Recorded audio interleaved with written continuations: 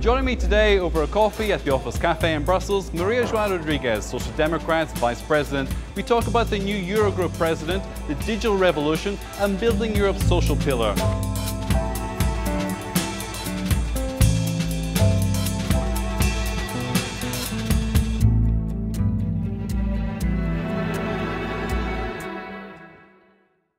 The new Eurogroup president, it's a big win for Portugal, a big win for you as well. Are you pleased? Of course. It was a very long story. There are no miracles in uh, politics. So we worked so hard, first of all, to have a new way to deal with Eurozone issues. Because we believe that uh, we need to have uh, new bridges to overcome big divergences which were there.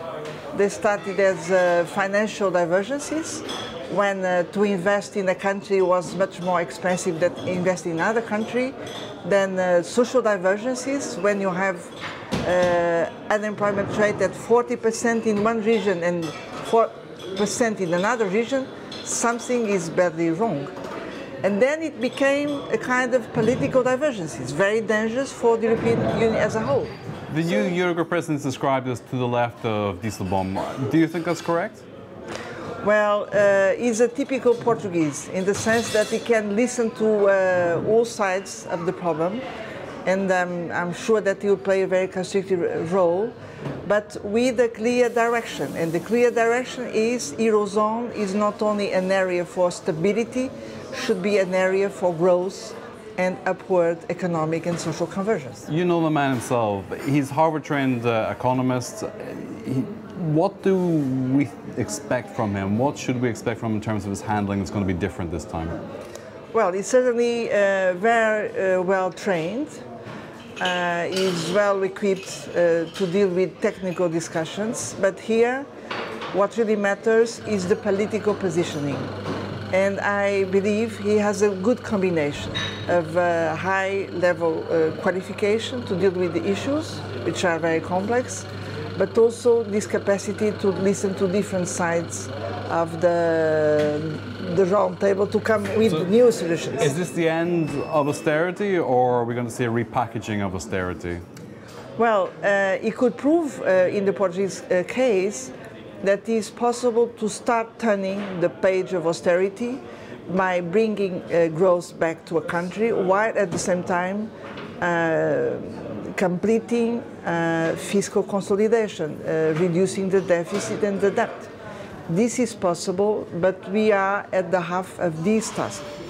Because uh, in order to complete the task, we need to change the way the economic and monetary union as a whole works. That's why the reform now coming is so important. And that's just one reform. You've spoken in the past about reforming Europe and what needs to be done for the future of Europe. What needs to be done? Well, I think the good starting point to reform Eurozone is uh, the European social pillar, which was uh, proclaimed uh, some weeks ago.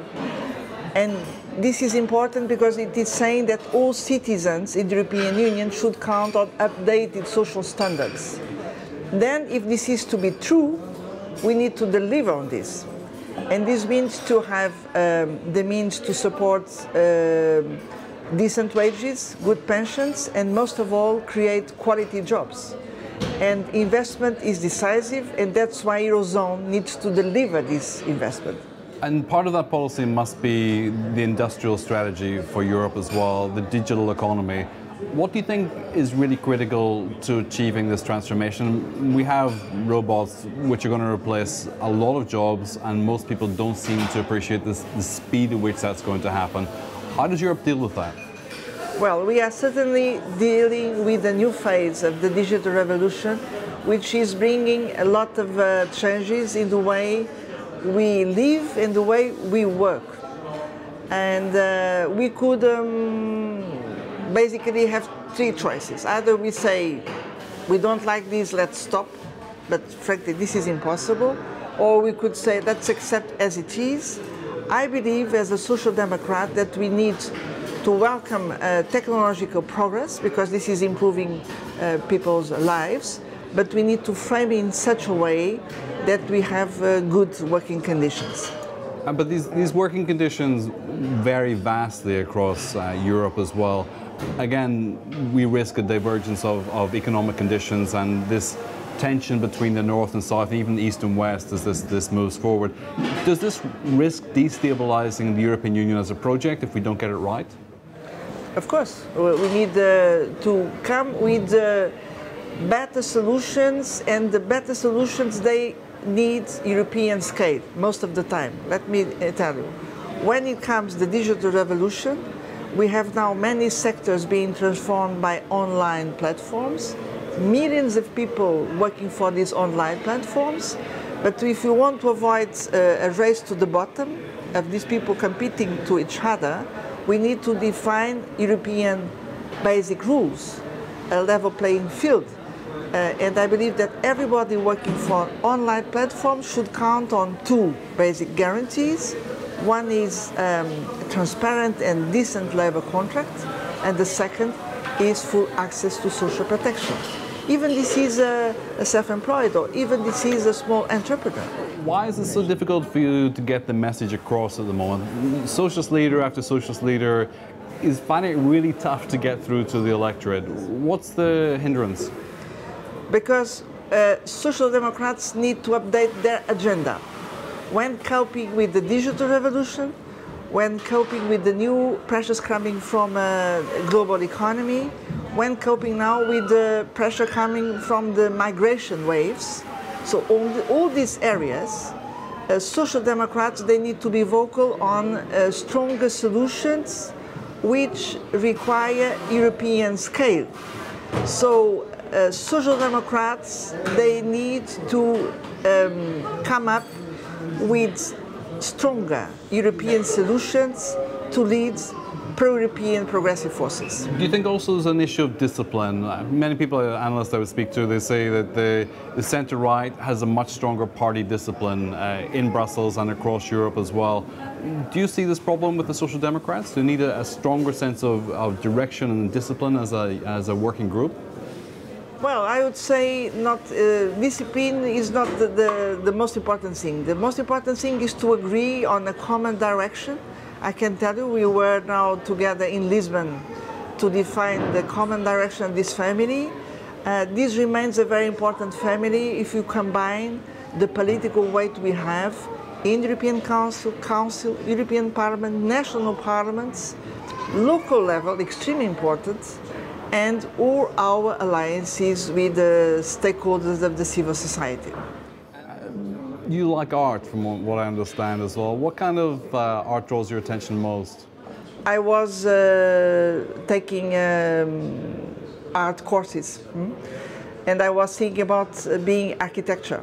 Uh, and uh, now I'm being trying to make a kind of architecture in politics. This is in fact. But um, just to give an example, uh, I believe that art creation comes before all the other forms of creation, including in science and politics.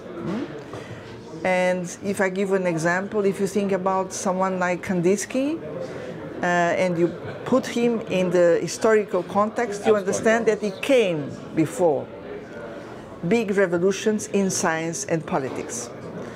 And I believe that art is really the first way for humankind to invent something new. What do you think was new about Kandinsky? What did he lead with? Well, it's the capacity to think about um, eternity.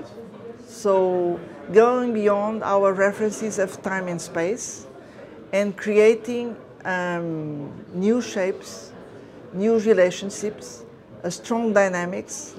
Do you think your view of art informs your view of politics in terms of what's possible, whereas others would see a very practical reality in front of them and see the limitations of day-to-day business. No, absolutely it uh, influences because let me give an, another example. Um, Picasso with the Cubist revolution is extremely important for politics because you have the same object, but you can have different views of the same object depending on the perspective. And this is a decisive art to make politics because you need to understand the others and then to come with a possible compromise. If you write a book in the future, I'm guessing there's capacity to have a chapter on the art of politics or the architecture of politics as well. Mary João Rodrigues. Thank you. Thank you so much.